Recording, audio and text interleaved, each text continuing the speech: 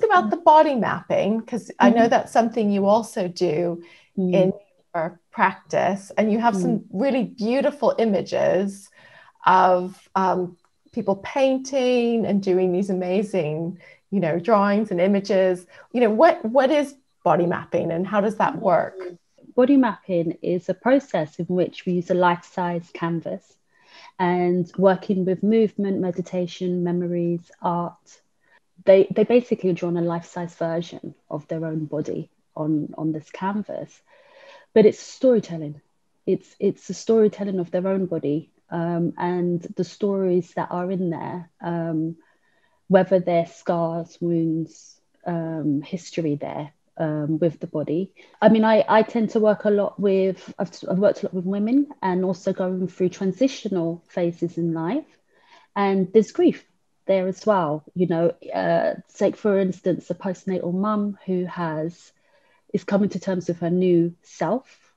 Um, and sometimes in the newness of becoming a mum, there is a grieving of herself, um, her individuality, and sometimes those stories need to be consolidated and, and brought together um, so that's what body mapping kind of helps do it's it's a lovely process um, again it relates to you know as i said earlier uh, we we live in the space of our bodies experience our life so it gives a chance for a person to kind of have that conversation you know, and see their own stories with their body and also um, get feedback, um, you know, and, from and be listened artwork. to. Yeah, yeah. be listened to and see. No, that that it, it takes us into that realm, which is really important for grief mm. and other things of meaning making.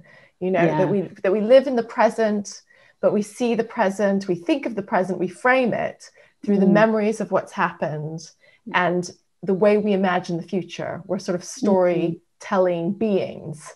Yeah. And when something really changes that's radical, we lose that story that we had of who we are and what our mm. life is. Mm. So I can see how this is one way of finding a new story that yeah. takes into account the changes. Yeah. And also we don't we store the stories that's what I would say in terms of body mapping. The, the stories are stored inside of us. We pack them away. We move away from them, sometimes because we're too afraid to go back to them. Um, and, and so sometimes when we do take that time to go back to those stories, they've changed you know the way we've seen them the way they've sat in us the way what what they meant to us five years ago and what we know now about those stories. And sometimes and so a body map can also be a snapshot like a photograph as well of who you are right now. Mm. you know and you can and it gives you a chance to see and and and the art itself gives you a, a really beautiful opportunity to reauthor it as well you know be gentle with it um, create recreate it into how it might feel for you um, in a way that um, you can only have that conversation with your own body. Yeah. And i can imagine that different people experience their grief in different parts of their body and that that tells a kind of story.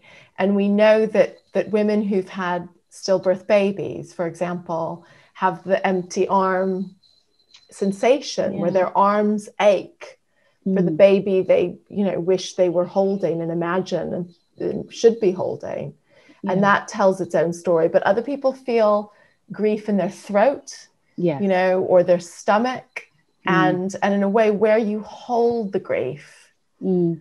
probably says a lot about you know how you've experienced it and what yeah. the kind of issues and that are kind of you know how that's the kind of emotional content of what's happening to you yeah Absolutely. That's, ex- I mean, I think that's spot on. Um, and I think for, you mentioned, um, you know, you made me think about miscarriage um, yeah. as well. And sometimes for women, especially in the early stages of um, miscarriage, out externally, sometimes people don't necessarily understand what that person went through because there was not maybe a physical enough um, for the rest of the world to comprehend what she felt.